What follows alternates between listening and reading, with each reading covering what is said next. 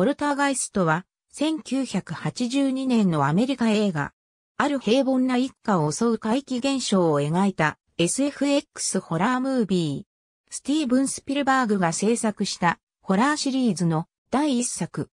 本作の制作期間が E.T. の公開と重なり多忙を極めたスピルバーグは監督をトビー・フーパーに任せ、自身は制作に回った。監督の重複契約が禁止されているためでもある。1986年に第2作、ポルターガイストに、1988年に第3作、ポルターガイスト3、少女の霊に捧ぐが公開された。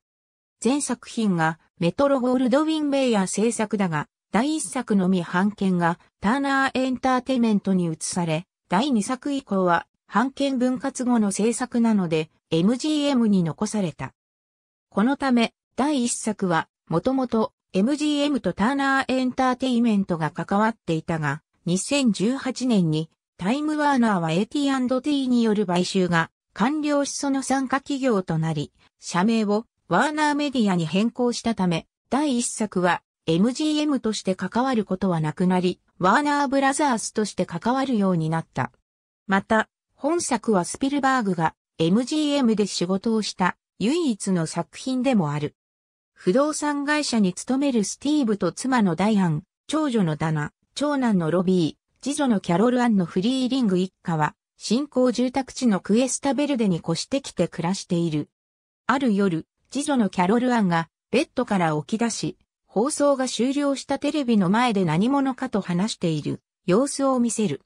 翌晩またもキャロル・アンが起き出し、放送が終了したテレビの前にいると、テレビ画面から霊魂のようなものが飛び出し家を大きく揺らす。驚いて飛び起きる家族に、キャロル・アンは、あの人たちよという。翌日フリーリング下では、台所のスプーンがねじ曲がっていたり、椅子が勝手に動いたりするなどという奇妙な現象が発生する。そしてその嵐の晩、庭の大木が2階の窓ガラスを突き破って部屋へ侵入。就寝中のロビーを外へ連れ去ってしまう。スティーブが何とか救出して家の中へ戻ってくるが、ロビーと同じ部屋で寝ていたキャロル・アンの姿が見えない。キャロル・アンは騒動の中、クローゼットに吸い込まれて、どこか別世界へ消えていったのだ。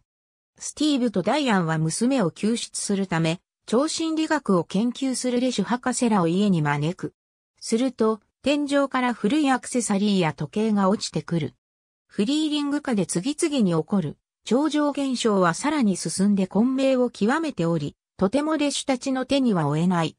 そこで、レシュは、これまでに何軒もの家を清めたという霊媒師のタンジーナに助けを求める。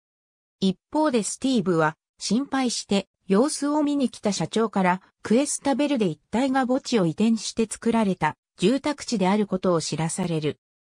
タンジーナは今のキャロル・アンは霊界での生命ある存在であり、安らかに眠れない霊たちはそんな彼女に夢中で本来の救いである光から気をそらされている。あの子に誘導するように母親から言うのです。もう一つ恐ろしい霊がおり、それがキャロル・アンを光へ行かせないようにしている。キャロル・アンには子供に見えるが、私たちにとっては魔物ですと語る。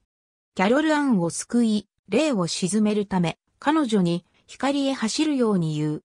タンジーナが子供部屋へ入ると、霊界の扉が開いており、一階天井と繋がっていた。テニスボールを投げ入れると、天井から落ちてきたことを確認した後、ダイアンはロープを体に結び、霊界へ入った。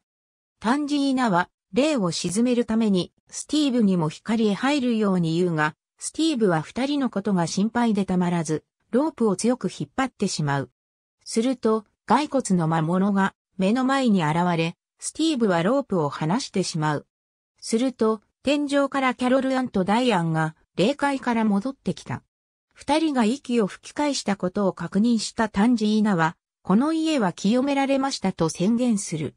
翌朝、一家は引っ越しの準備をする。スティーブは会社を辞め、片付けをするために外出。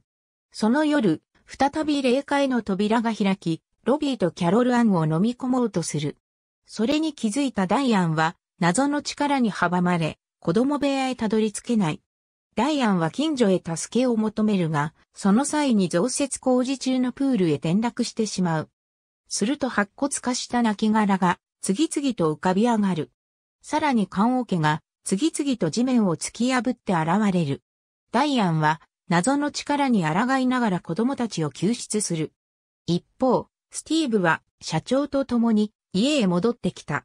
家の惨状を目の当たりにしたスティーブは墓石だけ移動させて遺体を放置したな。と詰め寄る。崩壊する家から逃げ出した三人と、ちょうど家へ戻ってきたダナを車に乗せ、街を出る。すると、家は異世界へ吸い込まれて跡形もなく、姿を消したのだった。ありがとうございます。